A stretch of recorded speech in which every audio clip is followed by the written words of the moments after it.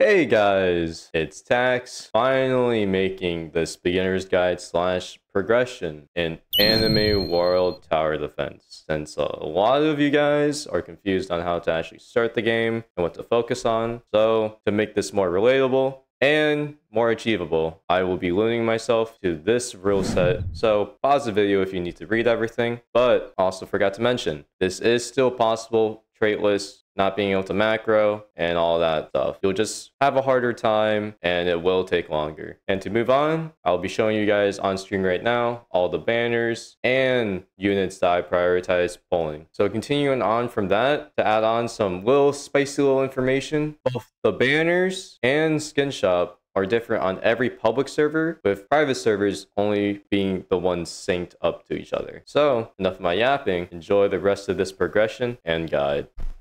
Alright, cutting in since I forgot to mention why I got these characters. So, starting off with Issei, I'm gonna be completely honest, he was only there for the leader skill. Nothing more, nothing else. Like, you're gonna replace him after you get either Rudeus or Yuno evolved, since they both have better leader skills than them, and they are actually useful compared to Issei. Plus, after removing Issei, you'll be saving yourself a free slot to put any other characters that you want Evo for clear stages. So next up, Rudeus. Now this guy is the backbone for this entire progression. Like both his pre-Evo and Evo are amazing. Both being full AoE, multi-hit crit characters, which will help you in Metal Rush when grinding gold and other stages. So he's mainly just there just to be the carry for the team but you could replace him with any other characters. So moving on from Rudeus, we have Misaka from Toaru. So she just has a lot of supportive utility, having a slow, a knockback, and stun all in one character. So her upgrade one through three, she has a good slow with good coverage. She has a circle stun, which is pretty short paralysis. Upgrades, I think, four through six and then her last two upgrades are a skinny knockback line. So she's great for your early damage farming team or great support for early damage farming before you get the trio of Noel, Jaku Demon, and Dark Flame Lover. But that's mainly it for her. And then moving on to the Peem replacement, which is Unohana. Since I don't have access to Peem because of my restrictions, she was literally the only option I had, being a cleanse and a heal.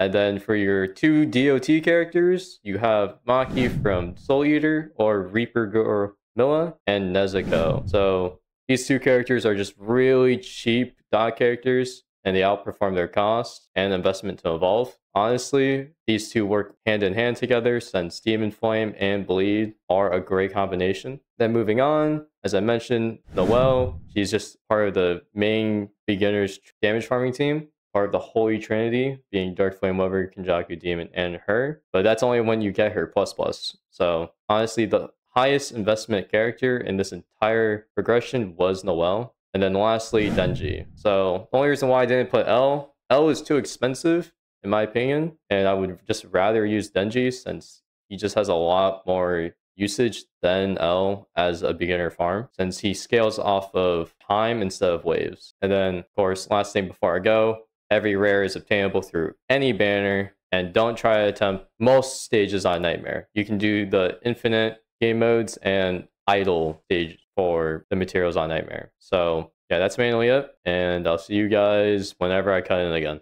So since I'm gonna be dying soon, uh, I already rolled traits and accidentally macroed on this account. So thanks to me accidentally macroing on this account, I have a crap ton of resources for demon hearts and all that. So just to make it fair, I'm just going to be grinding up more gold for future evos. But you should be doing this anyways right after you get the team. But honestly, it was my bad for doing this. So you should just farm an appropriate amount of gold where you can get all your characters maxed out on the team. And then after that, you can start rushing for a Saren Evo, which you have to do story for, which is Rudeus.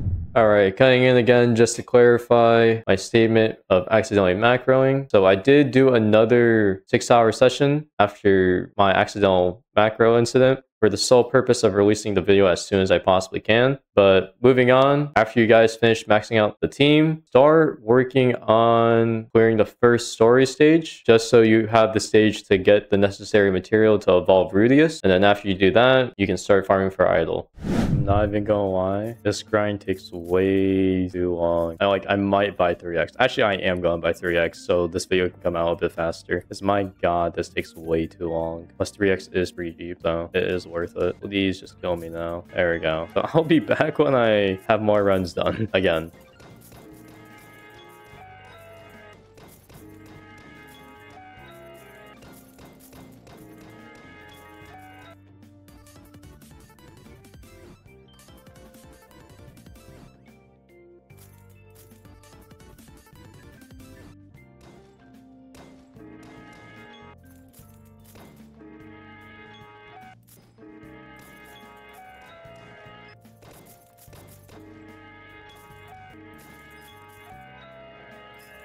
First evolution, baby. First evolution. I can finally evolve Rudeus Greyrat.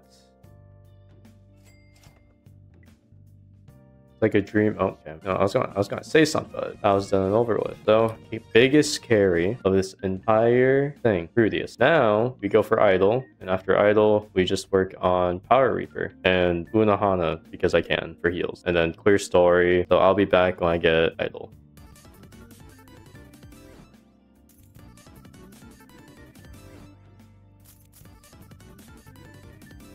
Alright, just finished doing all the stages needed to know, evolve Oshi, or I.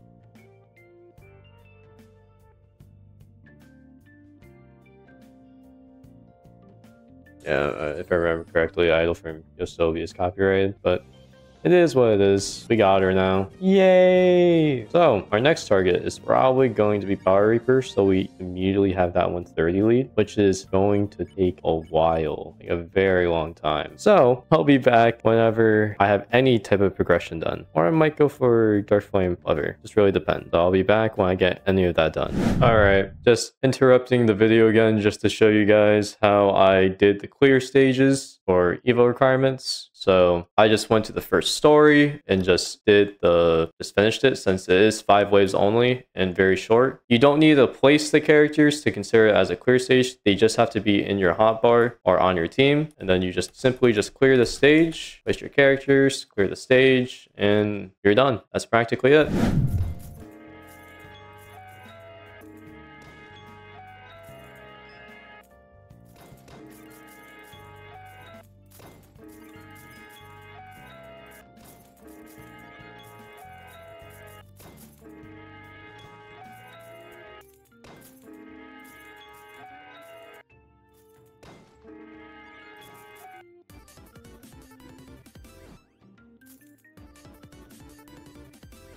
I was struggling beyond story because I don't have a hill character, hill unit. Uh, I'm just, uh, I just want to get Power Reaper done and call it, call this part of the recording over, call it a day. My god, where's, where's you know? My blind? Just, there we go. That is you know done. So I'll actually be back when I have Power Reaper done since I'm just extremely tired. Just want to get over with. So there probably won't be as many clear stages done because I just don't feel like recording them. Just how I was with doing you know off camera. But I'll be back.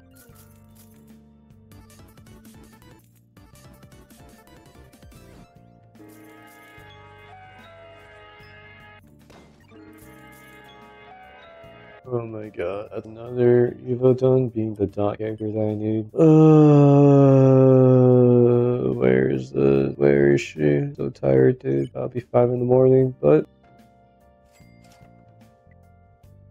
Oh, Maki Foliage's done. I know I didn't show footage for getting the hollow shards, but I don't want to bother. I did bother for the abyss stages because it's waiting until I die. He's done. Now I properly work, probably work. Get him done, and then get the two damage farming characters I need to get. So I'll be back when I get um Power Reaper this time, hopefully.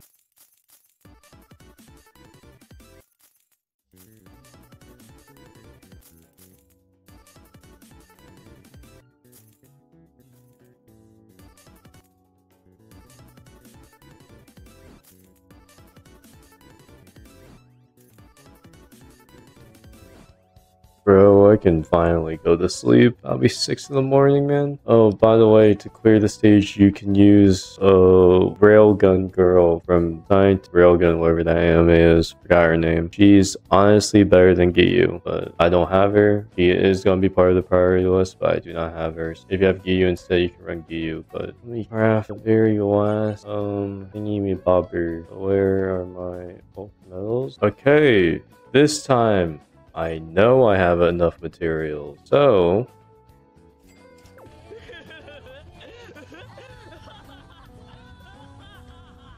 I forgot this guy had a cutscene. Forgot. Bro had a cutscene. But we did it, boys. Second miracle rare, rare indie bag. Feels good. Feels good. I am XL being him also because it's going to be one of my main damage dealers. And I'm running out of gold slowly. But a final, I mean final Neo career I'm to be making is this guy. Get the damage and the orbs, which should be easy. So I'll be back when I get that done. Actually, I can probably craft all these. So it's probably just to be the damage and the orbs. So I'll be back when I get it done.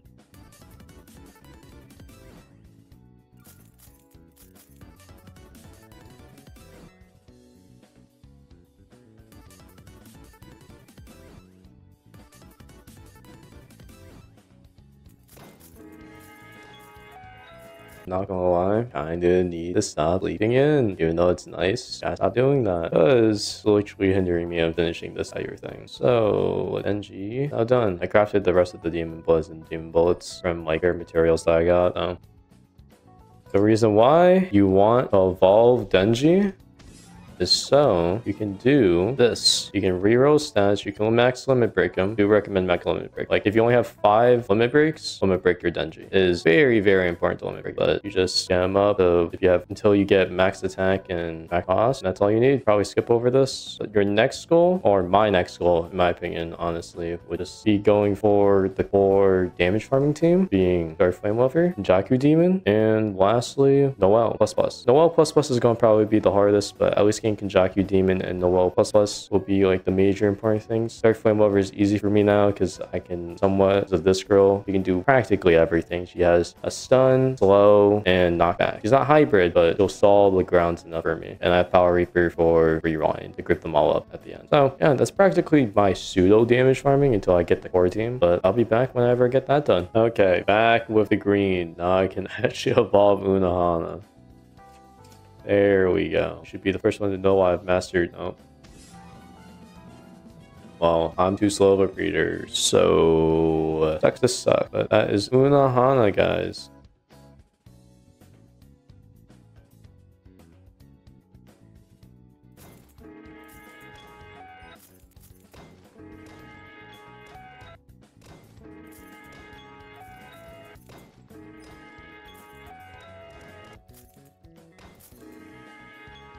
Uh, I am done. I have the second main component for damage farming done. Well, not really. The, the one and only component for my damage farming team finished. Just Dark Flame Lover. Uh, please don't have a cutscene. Sorry, pass the finally crashed at last. Yes, sir. Now, next up is either probably Noel or Kenjaku Demon. So I'll see you guys whenever I have one of them. Actually, for those, actually before I go, for anyone who doesn't know how to get Kenjaku Demon's raid, you go to the raid section and you just spam refresh on it until you see a certain raid. So hold up, should be coming up at any moment real quick. Below the spider raid, like a 10% chance. There it is, Kenjaku House right here. So for this, you do need a healer. You could beat this with unevolved Unohana, but evolved Unohana would be recommended. But yeah, this is what you would need. You just need to do this and just do it on Nightmare if you can do it on Nightmare. Usually try to do it on Insane just so you have an easier time. But yeah, I'll be back when I actually do this.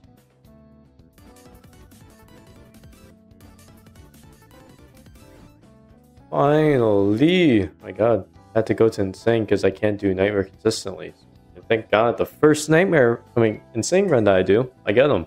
So let's see what bro takes. Alright, back into the lobby. Let's see what Kenjaku Demon Boy take. A lot, a lot. Okay, not as much as I thought he would take. So it's just gonna be a lot of dark farming. So that's not as bad. I was just gonna use him as the lead for damage farming. But I'll be back whenever I get him done.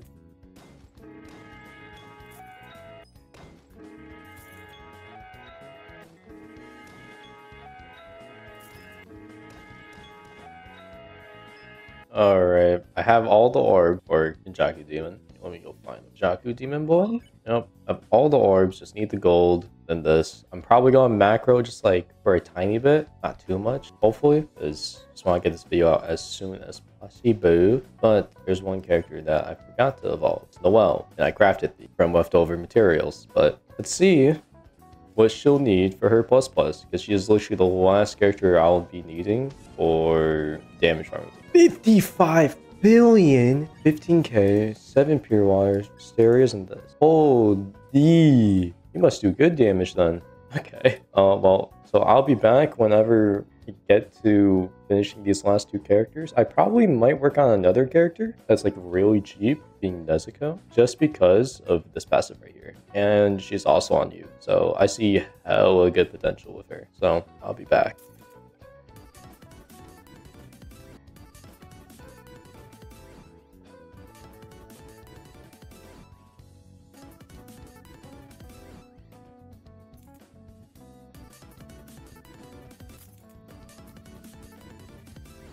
Alright, so I should be able to evolve Kenjaku Demon after yep, crafting one of these. Should be able to evolve them. I have enough gold and everything. Yeah, 11 million gold because of like a little macro that I did. As you guys see, I'm not that high of a level and I don't have that many of the materials. I do have a lot of universal because I did convert a lot. But of course, this will take longer if you can't macro because you have to actually physically play the game, but I'm macroing so I can release the video out sooner. But this is the second piece to our main damage farming team completed.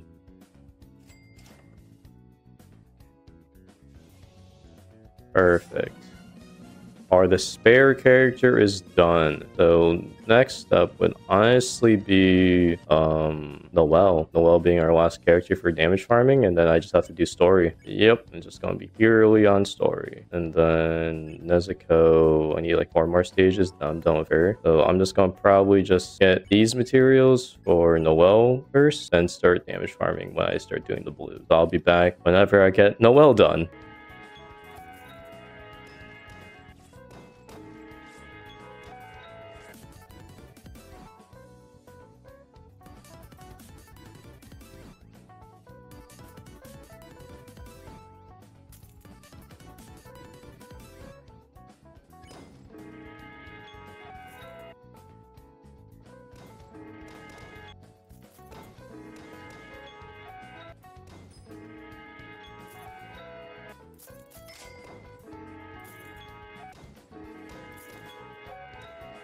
Alrighty. Alright, alright. Noelle is done. Surprisingly, damage farming wasn't that bad. Because I already had Kenjaku Demon, thankfully. But the last piece of the puzzle. Oh well. Sorry if I'm not dancing elegant. Okay, or just not let me finish reading. Thank you, game. oh, Noelle is finally done. Finally done. Finally, finally done. Did Maxwell be here and all that stuff? Oh, they made her lead better. Oh, she's a 125 lead now. It's actually really good. It's actually a really good lead, I'm not gonna lie. The last step is story now. Actually, I do have one more character I can evolve also. Uh, there you go. Nezuko. Humans are protected and saved. Oh, okay. You know, my processing speed is actually slow as hell. But Nezuko is done. Did also max LB here. She is just here just for Demon Flame and she's on you. So whenever I'm stuck on dot stages, I just use her along with this girl because they combo really well together. So I'll be back whenever I get story done or I'll show you guys all the story stages. So see ya.